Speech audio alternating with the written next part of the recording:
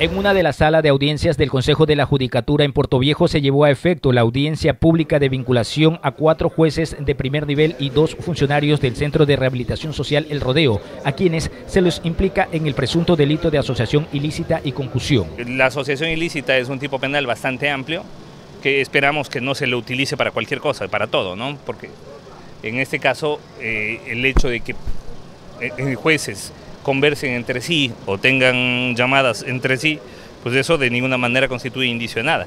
Según el fiscal encargado, existirían indicios contundentes sobre los funcionarios públicos. Al decir de la Fiscalía, expuso que los funcionarios públicos que trabajan en el Centro de Rehabilitación El Rodeo llegaban a realizar los trámites para llegar a un acuerdo con los jueces y ofrecer los beneficios penitenciarios, por lo cual solicitó prisión preventiva para Marcela D. y Rodrigo M. Fiscalía tiene que hacer las investigaciones pertinentes, tiene que encontrar los elementos de convicción necesarios para la imputación de, de un delito de asociación ilícita y concurso para los señores jueces pertinentes. La presidenta de la Corte Provincial de Justicia en Manabí, Paulina Sabando, quien actuó como jueza, dictó medidas de orden personal y real a la presente causa para los jueces ahora procesados, los mismos que deberán cumplir con la prohibición de ausentarse del país, prohibición de enajecer y la obligación de presentarse periódicamente todos los lunes ante la juez competente. Consideramos que son desproporcionadas las medidas al solicitar que se aparten los señores jueces de sus cargos cuando pues el derecho al trabajo está garantizado y la presunción de inocencia por sobre todas las cosas